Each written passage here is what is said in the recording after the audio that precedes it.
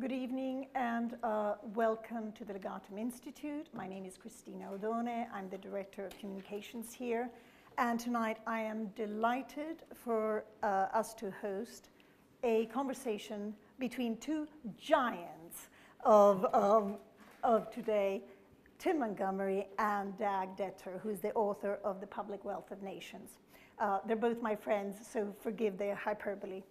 Um, but before I hand over to the gentleman, uh, I just wanted to have a few words about the Legatum Institute.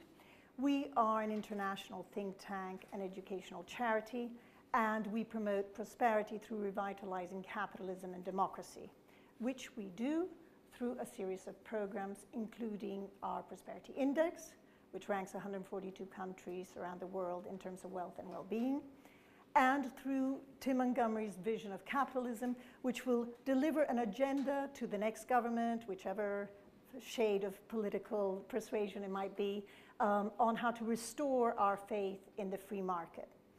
Now, um, I jokingly said that these are two giants, but uh, it cannot have escaped anybody who's been living in Britain over the last 10 years that one of the, our greatest social entrepreneurs is Tim Montgomerie who founded the Conservative Home website and has become a, a Times columnist and political commentator par excellence.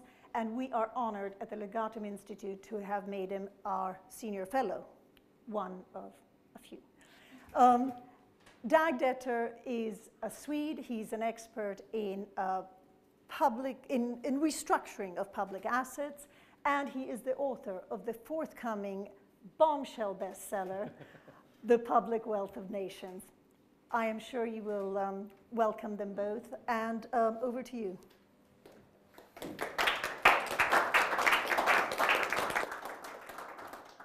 Well, thank you very much, Cristina, for that very warm and very generous um, introduction. And thank you very much, everyone, for coming this evening.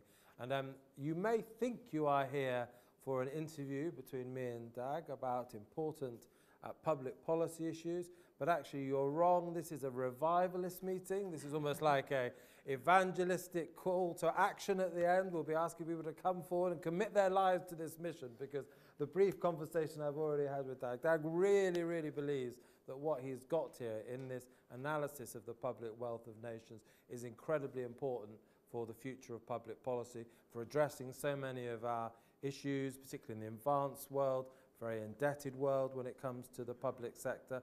And I hope that uh, as I've been reading through um, the materials that he's written, I've become more and more excited, intrigued as well. I'm going to try and put some of my doubts as well as my excitements to him in the time that we have um, together. And after I've asked a few questions, we will open it up for all of you to be able to express your opinions um, as well. But um, uh, thank you so much, Dag, for sparing thank some you. time to, to be with us. And um, let me begin with this uh, quote from one of your papers.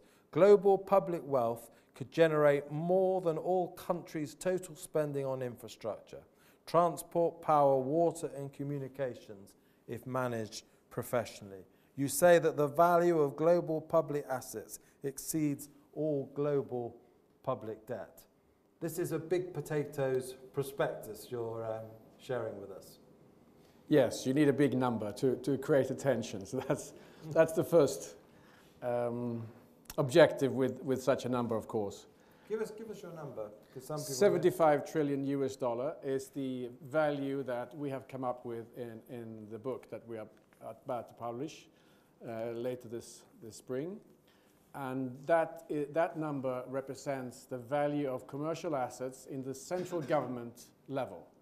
And that's a book value. So the market value, at least in the developed nations or in, in nations where uh, you're not in a deflationary stage so, or a financial crisis, the market value of that number will most likely be much higher. And also, uh, it's um, only the central government, so regional and uh, local governments where which is really where the, the, uh, the, substantial part of the wealth is, like the tip of the iceberg, uh, is not in that number. So the, what does the number cover? What are these public commercial assets that you mean? These are roads, land, forestry? Public A- buildings? Yes, anything that can generate an income or be uh, given a market value. So anything that is financed by, by tax is not in there. So we're not talking about sweating the, the 10 Downing Street or the, the White House or Yellowstone National Park, etc. Although we could be, we could charge fees to uh, go visitors, yes. So, what are the ones that you think are most undervalued in your experience of looking at these issues? Which are the ones that government manages least well for, in the public interest at the moment? Well, the, the, the, the, first problem is that we actually don't know what these assets are. That is the biggest problem. So the transparency is extremely low, and not even the governments themselves uh, really do know what they own. So normally, when unfortunately, uh, governments only pay attention to this when there is a crisis. And that's when uh, people like myself and others come to try to help. And what you normally discover is that they have a fairly good understanding of the corporate assets that are Mhm. visible, sometimes even listed, uh, and quite visible to the, to, the, um, to the consumers. In other words, electricity, airlines, uh, and so forth. But the most uh, intransparent asset uh, segment is real estate. Which is often also two thirds of the portfolio. And two thirds that is very much hidden, even to the government themselves. And so, one of the, um, in your paper, you talk particularly about how forestry has been undervalued in the US context. Tell us a little bit more about the, the literature that you've observed on, on that as an example of an asset that the public sector has, has yes, I mean, well. forestry is a, is a, is a very interesting um, asset, partly because governments traditionally own very large segments of it. And in Europe and in former Eastern Europe, or uh, former Soviet Union, uh, governments traditionally have 100% of all the forests. In the US, the government, US government ha- is, a, is a very large owner. Federal government has uh, uh, substantial uh, assets in this uh, segment, but also the federal, uh, sorry, the states. And, and uh, there is a very famous um, article by Fukuyama in Foreign Affairs that has gone through how uh, inefficient this is managed and how much value is lost through this very bureaucratic management. And we have other examples in Europe, and one that I've mentioned in, in the, I think in the article and at least in the book, is um, where the government of Lithuania wanted to look at their forestry assets and found that they were actually 30 times less efficient than even their neighbor in Latvia Mm. and, of, uh, uh, and also uh, in Sweden where and one of the reasons for this was quite peculiar or very interesting was that the Lithuanians immediately said, well, you can't compare us with other countries because, you know, we, we have a different history, etc. But when it came up that even Latvia, which has a very identical, not identical, but very similar history, um, was more efficient for the simple reason that they had consolidated all their assets under one company, while the Lithuanians had 64, I think, um, companies, and they were in themselves divided into several hundred companies, all with their different management and, and uh, staff, etc., which was the operational cost uh, for that came to, you know, was incomparable to somebody who had consolidated this under one management. Mm. And in your article, you talk about sort of a phony battle between private and state control, and you say the most important thing really is about the management of these assets.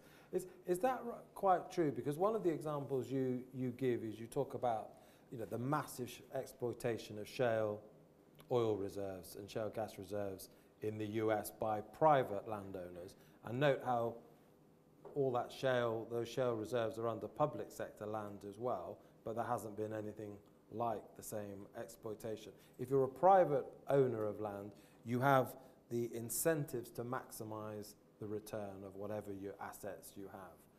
Doesn't actually ownership absolutely matter in whether a, a resource is managed properly or not? Of course it does. I mean, it, I mean, we, we see that between private sector owners as well.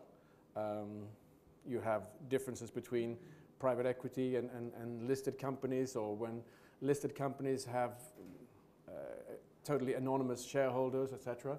And that's what shareholder activism and, and uh, the whole uh, shareholder revolution since the 1970s has been all about. Mm. So, of course, ownership matters a lot. Um, but what I would like to, or what we in the book would like to strike um, a chord for, is that we should try at least to stop talking about ownership when it comes to these assets because we have been locked into a phony war for the last 25 or maybe even 50 years.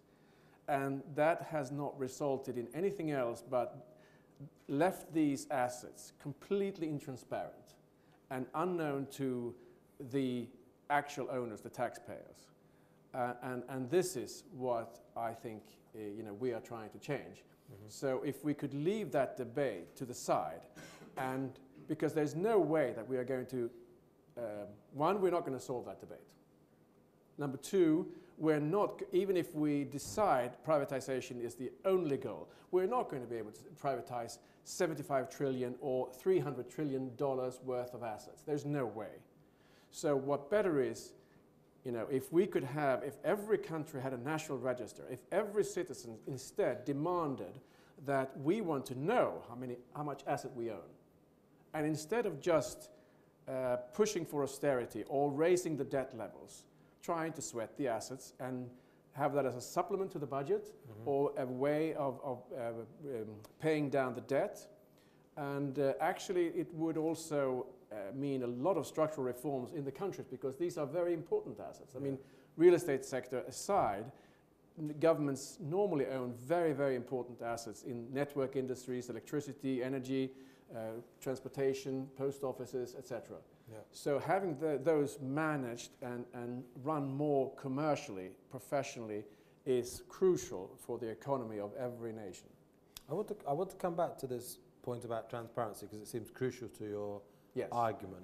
But I just want to press you a little bit further on this privatization issue because I get the sense, you know, we, we linking the discussion we had about forestry issues. I don't know if you followed the debate we had in the UK um, yes, yes, recently, yeah. but the government wanted to privatise forests, thought they'd be better managed, the taxpayer would make more of a profit if they were in private hands, and the public hated the idea. So I can understand your scepticism. We've had a practical example here in the UK of, of the public worrying about that. And in, and in your article, you talk about the dangers of cronyism and inequality potentially growing if you privatise thoughtlessly you, you, you do seem worried about privatisation more than just as in terms of a phony debate, but you seem slightly worried about where it might lead. Yes, I mean, I, I think we should, I'd like to put the UK aside because that is an exceptional country. It's probably the most, it's, it's, it is the, the most sophisticated country managing these things for various reasons. I would say that Sweden, um, Finland, Austria, you know, uh, Singapore is extremely sophisticated as well. Yeah. But they lack one, you know, they lack the, the financial center that the UK has, mm-hmm. which is unique in the world. Um, um, because the US don't have that sophistication when it comes to managing state assets, yeah. like the UK have. And also, you have a civil society which is able to debate this. So, what you have done uh, in, in this context is unique. Um, so if we if we so if we put that aside for two minutes, I'll come back to the U I'll happily come back to the UK because there, there's a lot to, to say still about the UK. But in a normal society where you don't have this extremely developed financial uh, and civil society, it is very difficult to privatize. And if you really want to see this from a democratic perspective or, or, or accountability uh, perspective, it is very important that you start managing these assets first because it's so easy to privatize these things unleveraged. Uh, uh, uh, I mean, if you would ask a, a financial um, astute person, would he ever sell an asset without putting leverage on it? I mean, that, that would never happen. Mm. Or developing it as much as they can, at least. Yeah. And, and so that's really the point. And the government is by definition almost in, incapable of developing commercial assets. And that's why we are suggesting this National Wealth Fund, which is uh, outsourcing the management of commercial assets, almost like you're doing with the, uh, the monetary policy to a central bank. So you're separating, you're insulating that kind of decision making from the short term political influence. So the politicians should be running the country, and the, and the manager of a, of a national wealth fund should be running the commercial assets. Yep. But that's when we, first of all, we have to agree that these are commercial assets. We're, we're limit, limiting the whole discussion to commercial assets. Yeah. And the, some of the most important commercial assets in any country is land. Yes. And you have tried, back to your transparency point, you have tried to establish as someone, a private citizen interested in this subject, the nature of the land assets, the commercial land assets that, say, a country like the UK owns, and it's an uphill struggle. It is, it is. Because, I mean, it, it, first of all, the government doesn't even have a register, which is, I think, is, is very strange. So the government, let alone you trying to know the nature of these assets, the government doesn't know really No. what it owns. And, and, and I mean, if you were a private person, you will tell the IRS that I, I, I don't know the, uh, the um, extent of my assets. I mean, you would probably go to jail in the end.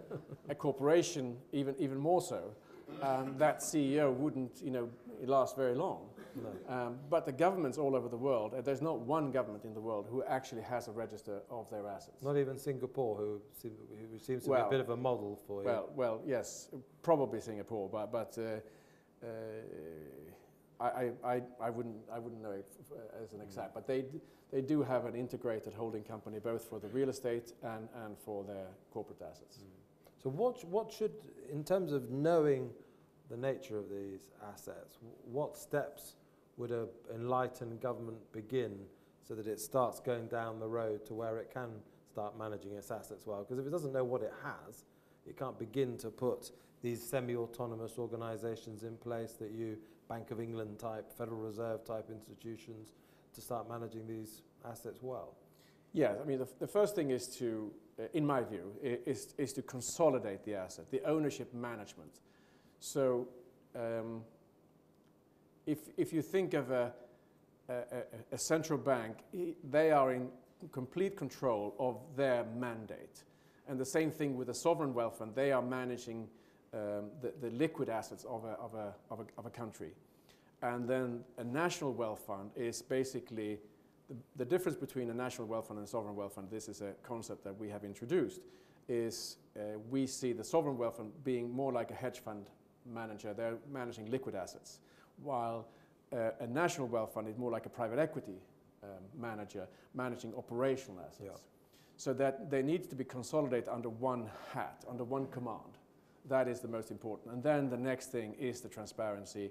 Uh, once you have that, it's much more easy to have a register, a proper register with proper private sector accounting, not public sector, because these are commercial assets. Once you recognize that they are commercial assets, they should also be treated with the same um, framework as the, the private sector commercial assets. They shouldn't have separate accounting, separate management, separate uh, managers or incentive system, etc. Yeah. So in your paper, you mentioned Austria, you mentioned Finland as countries that have begun to go down this road, but Singapore seems to be the poster country so far in managing these commercial assets. Tell us what attracts you about the Singapore model, and perhaps tell us, could it be a model for the UK, or is there aspects of it that you don't like that we could make it, we could do better? I, I obviously think that the, the Singapore model is, is, is definitely a model for, for all developed nations. Um, and I, well, we should, we should make a, we should stress developed nations because there is a difference between, uh, I like to quote Fukuyama, who has uh, written this splendid book called Political Order, which I think is a good way of putting it. Uh, if, you, if a country has political order, it depends on three things. It, it depends on a strong state, accountability, and the rule of law. and for the countries that has this, I think it's you know, quite possible to follow a, a, a model like uh, Singapore. And they clearly set out, which was the vice premier, premier in 1974, he said that you know, a, a politician should run the country. And then we should have businessmen to run our um, commercial assets. And, and that's why they isolated them and put them out on a, on a, uh, on a holding company. And this should be self evident but it comes down, sorry for repeating myself, but I find this being some, somewhat of a uh, clinch uh, word here. This is commercial assets. Once the society recognize that these are commercial assets, we're not trying to, you know, let's not include anything that could be mildly gray zone or mildly sensitive from a polit- political perspective. Uh, then it's much easier to talk about it in this way. And how worried are you about these semi-autonomous institutions having too much power? You're worried about the state undervaluing or misusing resources. You talk in your paper about Amtrak in the in the USA having to serve all sorts of congre- congressional districts that probably wouldn't justify on economic grounds because the congressmen want them.